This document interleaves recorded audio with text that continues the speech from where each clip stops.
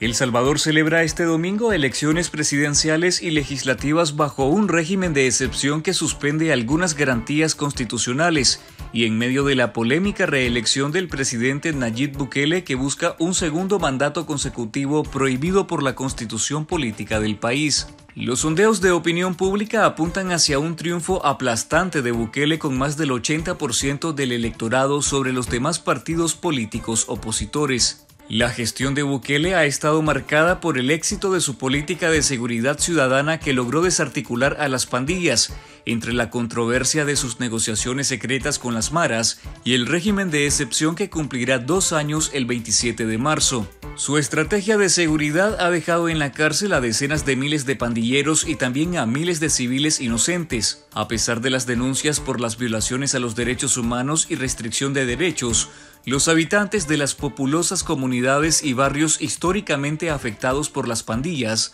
manifiestan sentirse seguros y respaldan la estrategia de Bukele. Su mandato también se ha caracterizado por la concentración de poder, la falta de rendición de cuentas y sus ataques contra periodistas, medios de comunicación y organizaciones defensoras de derechos humanos y promotoras de valores democráticos. La empresa Pastelería Margarita, fundada por Josefina Gurdián, mejor conocida como Pinita, decidió cerrar operaciones y liquidar a sus más de 40 trabajadores, después que la alcaldía de Managua le impuso una multa por 22 millones de córdobas e inició un proceso penal en contra de su junta directiva. Una fuente vinculada a la empresa reveló que la alcaldía acusa a la pastelería de haber cometido una falta que aseguran no cometió y como producto de esa supuesta falta de la que no se conocen detalles, la comuna impuso la multa equivalente a 600 mil dólares. Pastelería Margarita es una empresa familiar que nació a inicios de los años 80 su fundadora, Pinita Gurdián, era madre y abuela de las excarceladas políticas Ana Margarita Vigil y Tamara Dávila respectivamente. Además de encarcelar a su hija y nieta, la dictadura también le impidió viajar al extranjero para hacerse exámenes médicos especializados para tratarse un cáncer por el que falleció el 27 de agosto de 2023.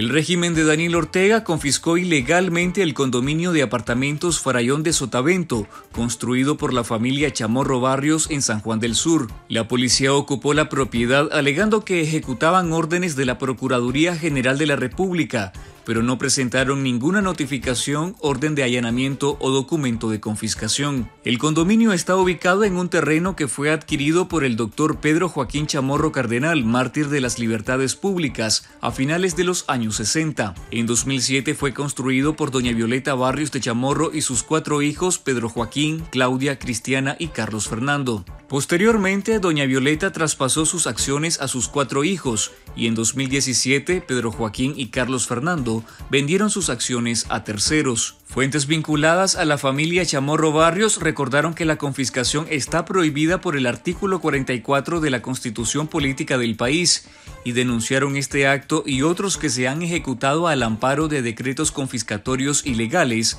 como acciones de persecución política contra ciudadanos nicaragüenses que han sido despojados de su nacionalidad e incluso contra sus familiares y otros que ni siquiera están incluidos en dichos decretos.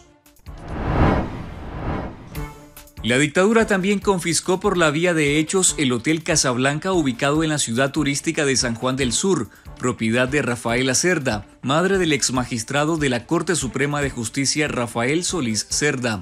La policía tomó el hotel de 15 habitaciones desalojando a los huéspedes y personal de servicio. La confiscación a doña Rafaela Cerda de 93 años se suma a otros casos contra familiares de expresos políticos o de exiliados del grupo de los 94, todos desnacionalizados que han sido confiscados por las vías de hecho. Su hijo Rafael Solís desertó de las filas del régimen en enero de 2019. Fue declarado traidor a la patria, desnacionalizado y confiscado el 15 de febrero de 2023 y actualmente vive en el exilio en Costa Rica. Nicaragua, bajo la dictadura de Daniel Ortega, es uno de los nueve países más corruptos del mundo, el más corrupto de Centroamérica y el segundo más corrupto del continente junto a Haití, según el índice de percepción de la corrupción 2023 de Transparencia Internacional. Nicaragua obtuvo 17 puntos al igual que Corea del Norte, Guinea Ecuatorial y Haití, en una escala que va de cero entre los más corruptos hasta 100 entre los menos corruptos. El país solo es superado en percepción de corrupción por Yemen con 16 puntos, Venezuela, Siria y Sudán del Sur con 13 puntos cada uno y Somalia con 11 puntos. El estudio indica que Venezuela, Haití y Nicaragua presentan los puntajes más bajos con un contexto de impunidad generalizada y ausencia total de independencia del Poder Judicial. Transparencia Internacional también advierte que la falta de independencia judicial frena el combate a la corrupción, lo que debilita el Estado de Derecho y promueve la impunidad. Nestlé, la multinacional suiza, anunció el cierre de sus operaciones de producción de leche en Nicaragua, lo que representa el segundo golpe para la industria láctea nicaragüense en tres meses, luego que se conociera que Lala SA había decidido vender sus acciones y salir del país en octubre de 2023. La empresa anunció el cese de su planta Prolaxa en Matagalpa de forma paulatina en los próximos meses y el traslado de sus operaciones a otras fábricas de la compañía en América Latina. El anuncio se encadena con los de otras empresas extranjeras que también decidieron irse del país, como Vatka, Astrocartón, New Holland y Avena Quaker.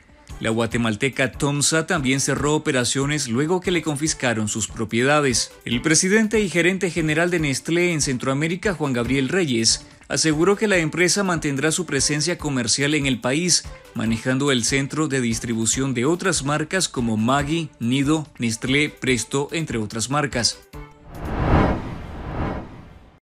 Agradecemos al presidente comandante Daniel Ortega y a la vicepresidenta Rosario Murillo por este regalo que nos han dado. Esta semana inició el año escolar 2024 marcado por el proselitismo político del FSLN en las escuelas de educación pública y el golpe al bolsillo de los padres de familia, que han tenido que desembolsar entre 2.000 y 3.000 córdobas por la compra de uniformes y útiles escolares por cada estudiante que alistaron para el colegio. Aunque el régimen nicaragüense presume que en Nicaragua la educación es gratuita debido a que en los colegios públicos no se cobra ningún tipo de arancel, hay gastos que deben ser cubiertos por los padres de familia. Además, la calidad de la educación es ampliamente cuestionada. La unidad sindical magisterial ha señalado que la educación gratuita que promueve el régimen es más un proceso de adoctrinamiento político. Los textos escolares tienen propaganda política y los maestros son obligados a repetir el discurso político del régimen. La dictadura orteguista reemplazó en silencio a las autoridades de la alcaldía de Ciudad Sandino en Managua, en medio de informaciones extraoficiales sobre un desfalco millonario que terminó con la destitución del ahora exalcalde Reinaldo Flores Llenet. En su lugar nombraron a María Elsa Guillén como la nueva alcaldesa ante trabajadores de la comuna. Flores Genet fue uno de los reelectos en la fuerza electoral de 2022.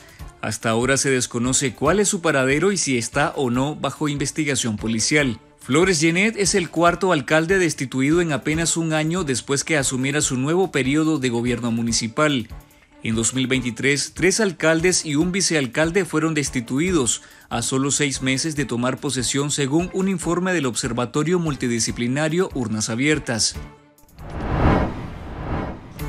En las primeras tres semanas de 2024, Nicaragua reportó un récord de 9.928 contagios sospechosos de dengue, la incidencia más alta que se ha registrado en el mismo periodo de los últimos cinco años, según las cifras reportadas a la Organización Panamericana de la Salud. El número de contagios es un 47% mayor a los 5.225 contagios que se reportaron en 2023 y 4.4 veces superior a los 2.217 casos registrados en 2022. Este aumento de contagios sin precedentes demuestra que el Ministerio de Salud no ha podido frenar el brote que se vivió en 2023 y del cual guardaron silencio. Según las estadísticas de la OPS, el año pasado Nicaragua tuvo la tasa de más altos contagios de dengue en América Latina.